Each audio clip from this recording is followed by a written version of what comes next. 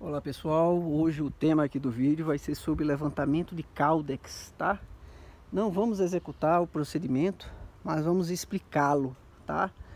E para isso, é, vamos usar aqui como exemplo esse porta-enxerto aqui que a gente utilizou para fazer o enxerto, não deu certo, né? Mas para essa finalidade a gente vai, vai servir para explicar para vocês, tá?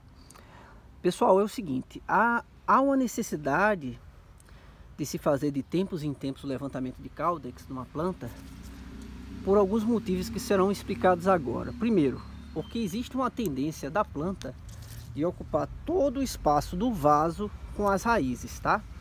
Ah, o próprio caudex, principalmente da Adeniobesum, ele tende a ser subterrâneo, tá? Ele tende a ser subterrâneo. Então, a, o desenvolvimento da planta, desenvolvimento submerso, vamos dizer assim, subterrâneo, né? Areia que não é água, tá? É, ele vai, ela vai desenvolver para baixo e se você não fizer o levantamento de caudex de tempos em tempos, a planta ela vai ficar estrangulada.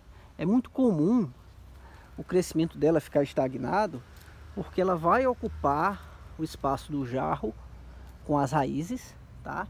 Ela vai se espalhar de forma subterrânea aqui e não vai ter mais para onde crescer. E aí tem aquela regra que se fala, né? Quando ela não tem para onde crescer para baixo, isso vai limitar o crescimento dela para cima também, tá? A planta ela precisa para crescer, ela precisa de espaço. Por isso que de tempos em tempos ela tem que ir de jarros menores para maiores. Se o seu objetivo for o crescimento da planta, né? Quem quiser fazer ADN como bonsai, é, dá para manter no mesmo jarro aí, tá? Depende muito da finalidade. Ah, essa planta aqui é um exemplo clássico do que eu falei para vocês. Dessa parte clara para baixo é a parte que estava subterrânea, vamos dizer assim, tá? ela tinha areia até aqui. E dá para ver isso porque essa parte aqui que tinha contato com o sol, ela cria uma casca, né, essa casca verde, né, que protege ela dos raios solares. E a parte que estava subterrânea, ela tende a ter essa, essa parte aqui mais clarinha, tá? Quando você fizer o replantio de uma planta dessa, seja para um jarro maior, no caso das plantas adultas, ou do saco para um pote de 3,6, que é o que a gente faz aqui geralmente, quando elas elas vão ficar num padrão aí para a gente vender como enxerto, né? Então você vai fazer a suspensão do caldex até para valorizar o produto, né? Porque quem vê isso aqui, por exemplo, não imagina que é uma planta que tem esse caldex aqui embaixo. Então o que é que você vai fazer? Você vai, vai suspender o caldex, vai plantar apenas, deixar plantado subterrâneo, a parte das raízes de alimentação, tá?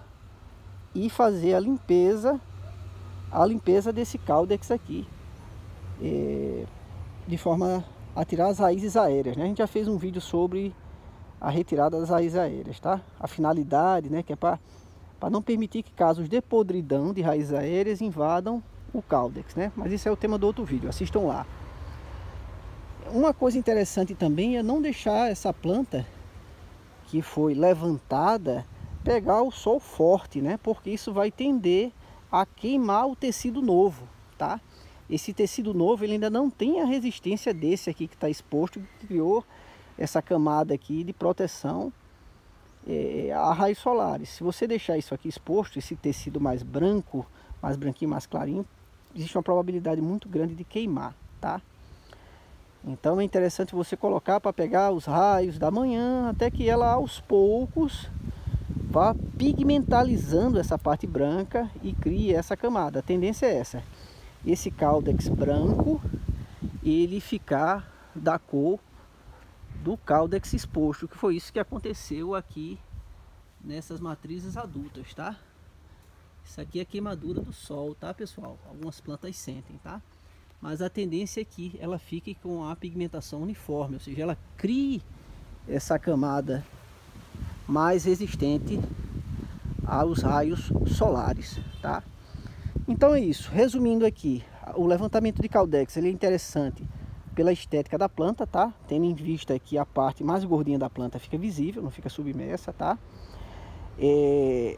a parte que é enterrada geralmente é das raízes finas, das raízes de alimentação. As raízes aéreas têm que ser retiradas para evitar a podridão do caldex, tá? E deve-se evitar os raios solares para não queimar essa parte que ainda não está protegida. Algumas pessoas colocam sombrite, colocam é, jornal para proteger, entendeu? Até ela criar essa, essa casca, tá pessoal? E é interessantíssimo se fazer isso, porque uma das belezas da rosa do deserto é justamente o caldex, né? É uma das coisas que chamam a atenção e valorizam a planta. É isso, pessoal. Obrigado por esse vídeo, por assistir esse vídeo e até a próxima.